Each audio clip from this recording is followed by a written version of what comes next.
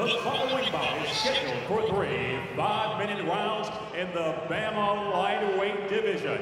Introducing first, the man standing to my right and fighting out of the red corner. He stands six feet tall and weighed in at an even 155 pounds. He is a mixed martial artist with a record of 2 and 0, fighting out of Cannock, England. Tim the Experiment.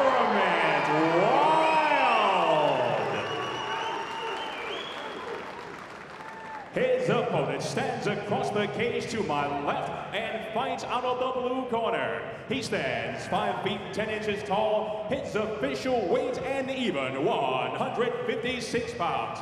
He is a Muay Thai, kickboxing, and Brazilian Jiu-Jitsu specialist. His record, three victories opposite a single defeat, fighting out of Luton, England, Jefferson George.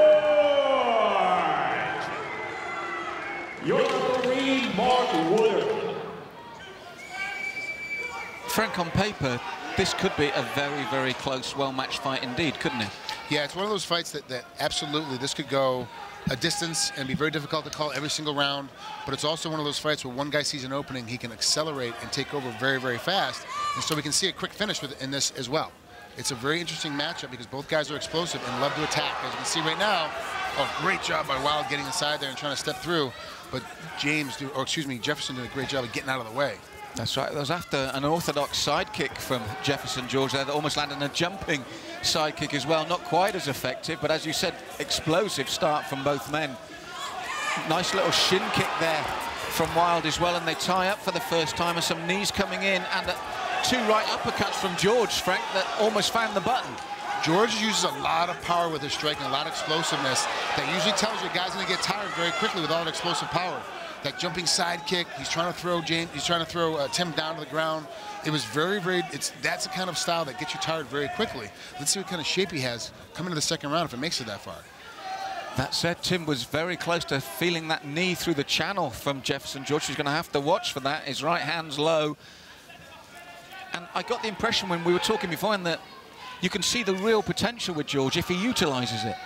Yeah, George has got great speed, great explosive power, kind of like a, a Paul Daley, who, who, we'll see later tonight, where he can just from the middle of nowhere just jump all over you, close a distance of three or four feet. You're outside of his punching range, all of a sudden you're inside of it, and he does some unorthodox things. Oh, great takedown, but ends up on the bottom. Good position, but ends up getting rolled. He did, didn't settle in, and as a result, now he's underneath. Let's see what happens with Tim's ground and pound. And that, that all came from a very different type of kick from Tim Wilde, which was a bread and butter, perfectly placed side kick to the midsection. Good spot, good position, both guys. Been a lot of high action like we thought was going to happen. Now let's see what happens now we're on the ground.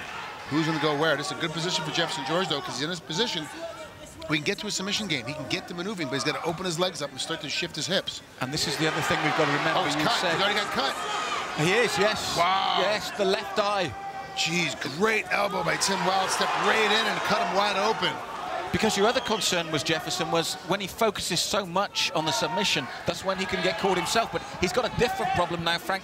What you know that that's a lot of blood that that's going into the eye. How does that affect the fight now? It's, it's, you can't see when that blood goes in the eye. That's why the doctors always talk about if it's above the eye. You know, an open cut, it's above the eye. An open cut, it's below the eye. It's a totally different call by the doctor usually. You know, and, and remember at home, ladies and gentlemen, the only people that can stop the fight is the ref.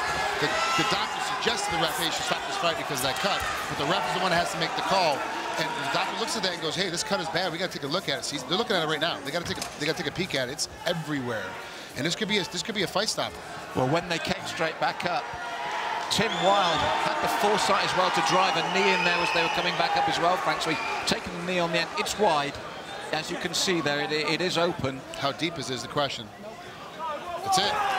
Good call, that is it. You can see how disappointed Jefferson George is, but that's just a fighter, isn't it? That's uh, there's nothing you can do about it. This is unfortunate. I, I, don't like seeing this in young fighters.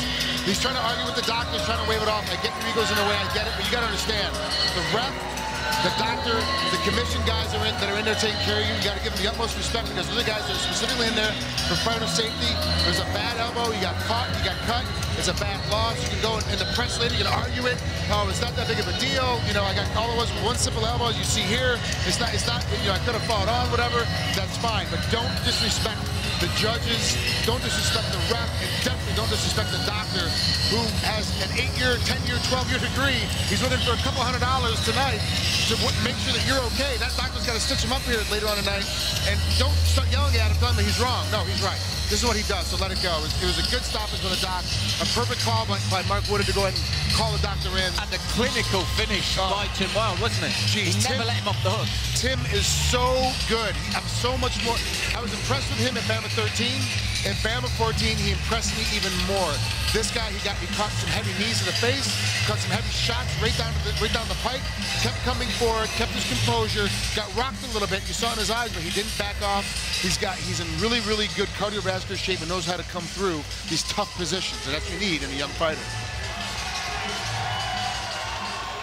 The ball game's at 3 minutes 42 seconds of the opening round due to doctor stoppage. Your winner by technical knockout, Tim the Experiment